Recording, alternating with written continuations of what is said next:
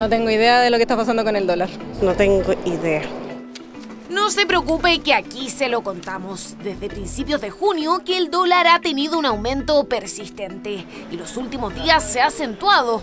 No nos conviene porque todo sube, sobre todo lo que es eh, eh, importado. Y tiene razón, como los electrodomésticos, automóviles, la carne y gasolina. Pero hay más. ¿Usted usa dólares? No, yo no uso dólar. Uso solamente moneda nacional. Oh, no, no, por supuesto no. ¿Y no usa streaming o hace compras en plataformas extranjeras? Ah, bueno, eh, Netflix sí. Sí, ella usa Netflix, mi hijo, los tres. Quizás usted no lo sabía, pero existen plataformas que cobran en dólares, como Netflix, y que por ende también subirán sus precios. No sabía que se pagaba con dólares, o sea, la mensualidad. Les vamos a avisar entonces, porque ah, me cobran más. Bueno, se pagará hasta donde se pueda. Si sube mucho, uno va a tener que controlarse, autolimitarse o dejar menos cuenta.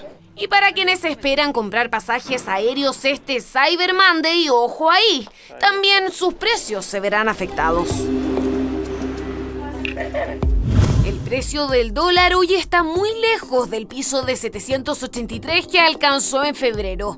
Desde entonces acumula un alza de más de 120 pesos. La pregunta es, ¿a qué se debe esta alza?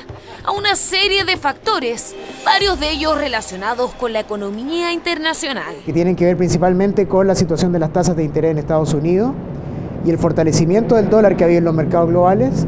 Por otro lado, también la economía china, que ha ido decepcionando con su cifra de actividad económica, está incidiendo a la baja en el precio del cobre, por ejemplo, y en el litio, que son productos de exportación importantes en nuestro país. También el petróleo ha estado subiendo significativamente. ¿Es momento de intervenir? Y el Banco Central eh, se reserva el derecho a intervenir en circunstancias excepcionales. Hoy día, digamos, si bien la depreciación ha sido importante, todavía no están las condiciones como para pensar en una intervención cambiaria. ¿Seguirá subiendo el dólar? Eso depende. El escenario internacional podría dar sorpresas negativas. En ese caso, habrían alzas mayores del tipo de cambio. E incluso algunos expertos no descartan que toque los mil pesos.